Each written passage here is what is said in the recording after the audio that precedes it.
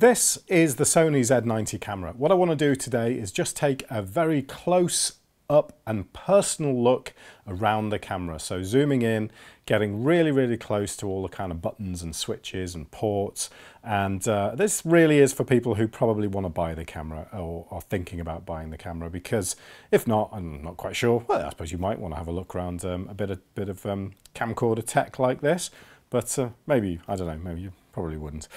Anyway, uh, moving along, this is, I guess, probably the configuration that most people will, will use this in. Uh, so with the handle attached for the XLR connectivity and the more sort of pro audio connectivity, eye cup connected at the back, which just slots over. It just literally just slots over the, um, just fits over there.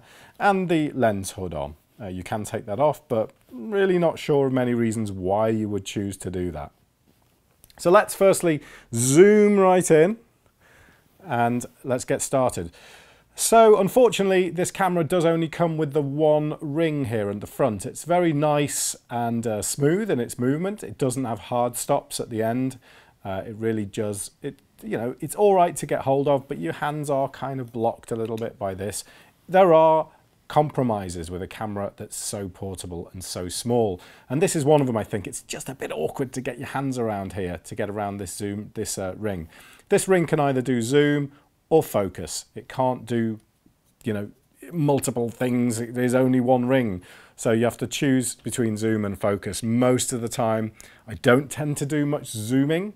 Uh, I'll zoom between shots rather than during a shot. So I tend to use it on uh, uh, as, as a focus focus ring.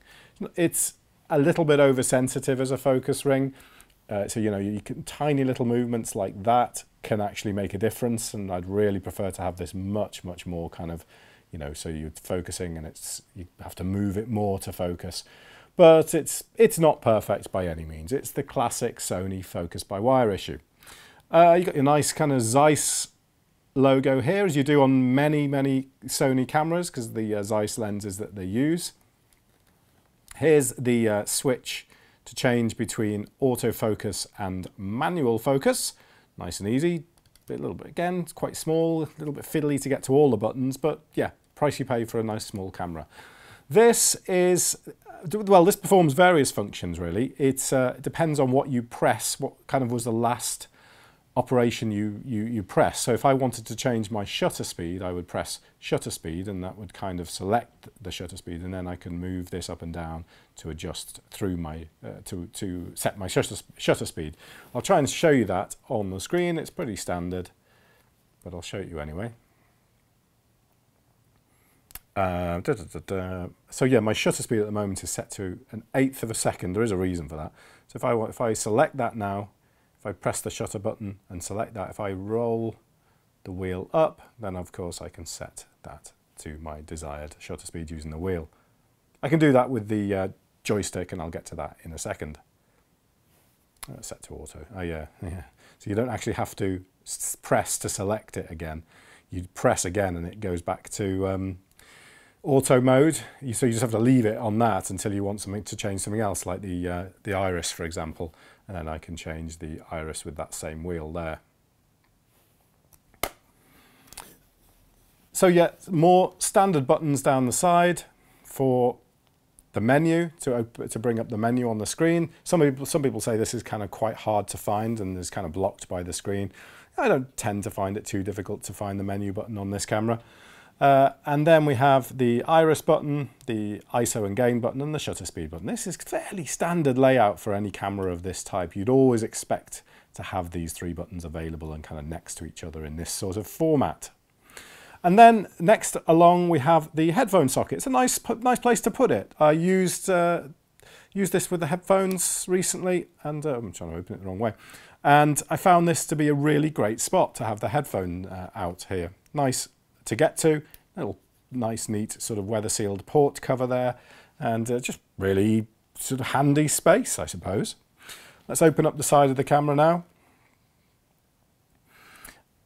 and we have our first three custom buttons here, which are actually slow and quick motion, status check and picture profile by standard, but they can, these one, two and three can be programmed to whatever you want.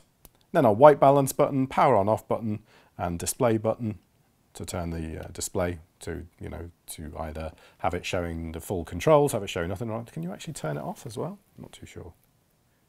Mm, no, so it just uh, just turns it off. So it goes from full, full information to kind of lower amount of information to virtually no information and back.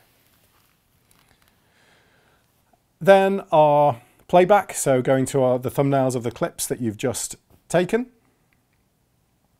Slot select, because in here we do, of course, have both an A and a B slot. So you can, as you can on most cameras of this type, you can record simultaneously to both. You can conti record continuously to one, one to another and that type of thing. So you have to have a slot select button to decide which slot you're going to record on. Okay, moving further around now, I'm going to close that section. It's a really nice looking camera this, I have to say. It's lovely. Uh, and I'm going to just try and get this into shot here. So this, the viewfinder, let me just zoom out slightly here because it's a bit close there, isn't it? The viewfinder uh, works just by pulling out, and there's not much movement on this. It moves up, up and down like that. And as soon as as soon as that's pulled out, the camera turns on. And I find that a bit of a pain because there's so many times when I'm using the viewfinder and I just shut this, shut the door, expecting it to then turn off and I forget that I've left it on because I haven't gone like that and turned it back off. So it's quite a lot of times that I do that and that's quite irritating. Uh, the battery connects just using this tiny clip here. It's a little bit in the way because my tripod plate is fairly large and as a result this is kind of blocked which but it doesn't matter I can move the tripod plate a little bit further forward but the, the battery just unclips like that comes off from there and I can show you in there there you go there's the um, there's the battery compartment and it attaches really easily there we go. Simple to attach, very, very quick. All right, moving a bit further around again. Some quality camera work here by me. But I did intend to do this really, really close because I wanted this, you know. Right, so ports around the side. SDI, so this carries the uh, HD signal in 10-bit 422. Remember the HD, HDMI port is only um, 8-bit 422. So this is the only output you have at that higher bit depth. Uh, but that's your SDI port with a nice, nice cover. These things, I always think they're going to break, but they never do. I've had lots of cameras with these sort of port covers on. They've never broken. They're fine. That slots very nicely over the top there. HDMI port also has your kind of weather seal cover on it and uh, it's pretty sturdy nice port nicely nicely mounted port there this part of the camera here in general is pretty strong it feels strong uh, start start start stop start button. And this is the main joystick. Some people love it some people hate it. I love it. Just a push move up and down standard joystick control there. A bit like um, I suppose a bit like you get on some uh, laptops, some kind of work laptops particularly have these, these sort of things on.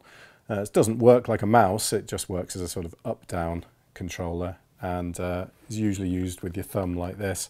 And I find it really nice. It's nice and easy to kind of just flick, around, flick around stuff and it means you don't have to touch the screen, which is good as far as I'm concerned. Uh, and here is the power in socket, which you can can't really see there because of the light. Um, can you get an idea what that looks like? Not really. and moving the other side of the eye cup, we have auto manual switch and then our ND filters, one, two, three, so one, uh, so quarter, 16th and 64th, 64th ND, and that's all manual. There's no automated ND on this camera at all. Carrying on around, very little, a lot less on this side. Uh, you've got the remote edition back in here, which people were happy about. and this is all, you know, just to put your hand so there's no actual stuff on this side. Uh, zoom control here on the top. I'm really kind of blocked light-wise here. And uh, default is a focus magnifier for this button here, and default for this is iris push, push auto, but we also have our fourth and our fifth custom buttons there too, together with this one right down at the end. This is our sixth custom button, and this is the only button that doesn't have anything already assigned to it. This is just a custom button, and you can make that whatever you want. Down the front here, two more sealed ports for mic, and that has plug-in power as part of it as well. So that's sort of very, could be typically used if you weren't, if you used for like a Rode VideoMic Pro, if you weren't, if you didn't have this attached. And this is the multi-interface connect, uh, connection here, which I've never used before. So I think that's what it's called. Oh, sorry, I'm gonna have to move it. yeah, so they're the two ports down the front. And that's really all there is to it, I think. Is that the lot? Uh, we've got a microphone on the top here, which picks up nicely from all sort of angles. It's not majorly directional, which is good. I see that as a good thing. And let's have a look now at the MI multi, uh, the audio parts. So our input one and input two XLR here, which have nice kind of easy covers to attach. They just kind of flip downwards like that and then are dead easy to push back in place. Clipped, they are clipped in place, the XLRs. They're not like some XLRs which don't have these additional clips, the actual proper clips on them, and they just sort of are a bit loose. I think most do have locking now. I have seen a few devices without it. You do get the two little uh, cable tie, uh, the area for cables under there, so you can slot your cables into there and just keep them a little bit more out of the way. It attaches to the body with two screws. I'll take, the, take this off in a minute to show you. On the top, we've got our cold shoe here. And this is what I was talking about the other day in a video. These kind of rattle around when there's nothing in them. Shame. That's a bit of a, an annoyance because when you have a uh, when you have a, a mic put in, in in here, you can hear the noise from these. And again, this is another, uh, another cold shoe to attach whatever you want to. I mean, I attach my lav mic here and I have my Rode uh, NTG3 on here. Record stop starts with a lock on. Zoom, which can be switched between fixed, variable and off. And then round the side, all our standard controls for audio. Uh, so we can have channel 1, recording on both channel 1 and channel, uh, sorry, just channel 1, or we can select channel 1 and channel 2. And this is, uh, this is for input 1 because sometimes you might have only input 1 being used and you might want to record whatever's coming in on channel 1 to both channel 1 and channel 2 and that's how you do that. You set that switch to, to up there. And then you've got various attenuations for input 1, attenuations for input 2, phantom power, whether you want it line level mic or mic plus 48 volts for phantom power. And the, the record levels themselves or you can have each input set to auto record level. And then we also have a low cut as well for both input 1 and input 2. I've never tried that out, don't tend to use that too much but obviously that is to reduce sort of things like wind noise or general background noise in kind of low, I don't know, it's just, it's just standard low cut really, probably around 80 hertz roll off I would have thought, but uh, never used it, so don't know how effective that is. And the, I'll just zoom out a little bit. This comes off pretty easily. Just unscrew this here and unscrew this and then slot it backwards and that's it. That, that comes off dead easy dead easy and you're left with a camera that is extremely compact. It really is just a, a glorified home camcorder in a way. That's what it looks like. And uh, yeah, really, really nice. You can fit that in the palm of your hand very, very easily. It's a great size without that top bit on, but you do lose, of course, all that functionality. And this is the Sony MI stuff, so you can put other devices on here if you wanted to. You know, if you didn't need this bit for audio, if you had specifically Sony MI lav mics, then um, you could use them on this interface. But I'm pretty much can guarantee that 90% of the time, I'm gonna wanna have this attached. Um, he says not being able to get this back on. So that just slots on there, and these go down screw on. They're pretty sturdy. I mean, this is not, this does not feel cheap. It doesn't feel like it's going to break. You know, you could mount some, I've had my Inferno mounted to the top of here, and that's a lot of leverage on this little bit of metal, or whatever it is, plasticky metal, and uh, it feels absolutely fine. Uh, Lens-wise, it is unfortunately, as I mentioned on my review video, a lens cap.